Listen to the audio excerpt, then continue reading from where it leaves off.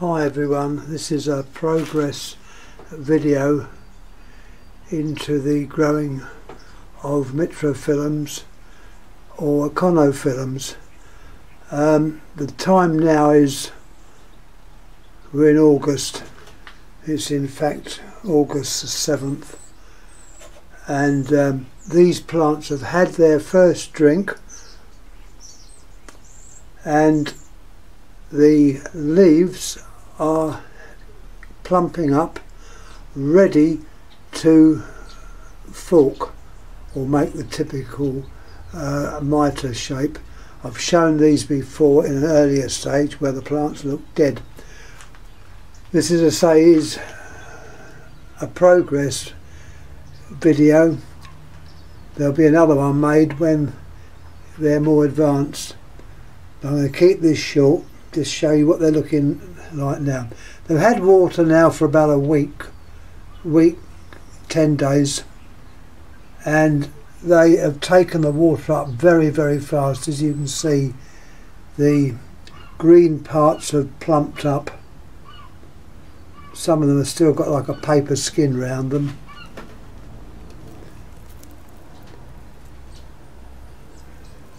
There's various species, but these are mitrophyllums or conophyllum and they mainly grow like late late summer the rest of the time they're resting as you can see this is a, a grand sight because they're coming into getting green and means they're alive.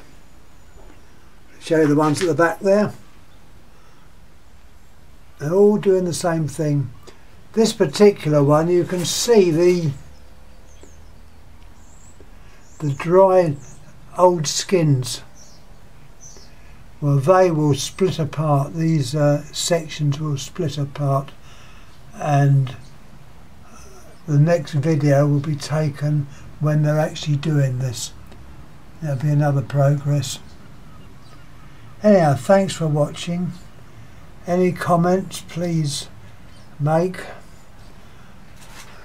By the way any of you that are in the uh, south of England we've got a nice bring and buy or, or a cactus mart as they call them at Sevenoaks Kent. That's coming up.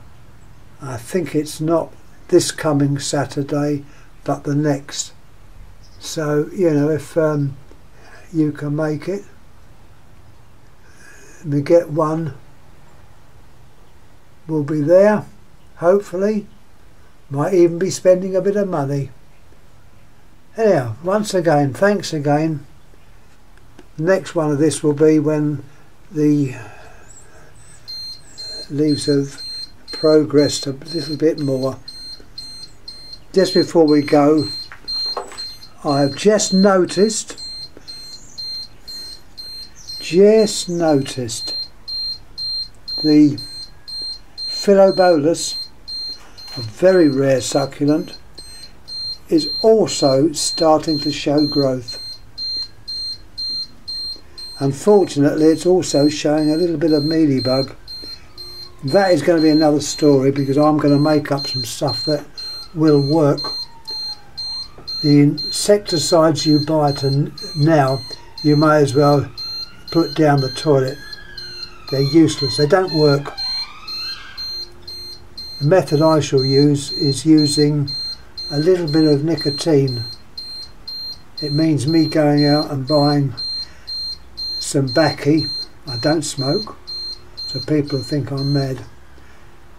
Mix it with methylated spirits soak it in there for quite a while so the nicotine comes out goes into the uh, mess. And then you can paint the mess on where you see mealybugs and hopefully that'll do the trick. As I said on, on an earlier video you can no longer get malathion. You can no longer get Fowler's Mealybug Destroyer. All the stuff you can get now as I say flush it down the loo and that's the best place for it. And look I've also God look at that. There's a monilaria greening up there. So the next one showing these will show them in an advanced state and hopefully you may see the Phyllobolus, I've got two of them, I've got another one over, over there, in leaf. If only they would set seed. If they both flowered at the same time, I could get seed.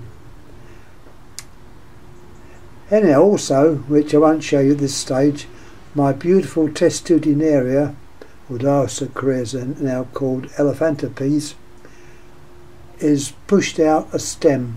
So that too has also started to come into life.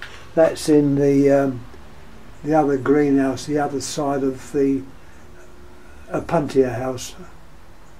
But won't see it this time. I'll get this one off. And as I said before any comments please make. Any comments about my very bad making up this stuff um, to kill mealybugs.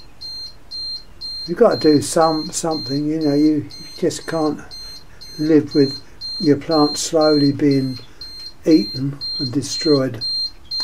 Anyhow, once again, thanks for watching.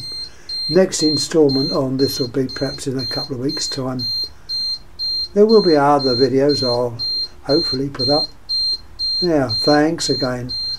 Please subscribe, please pass comments, good or bad, or publicity. Thanks again.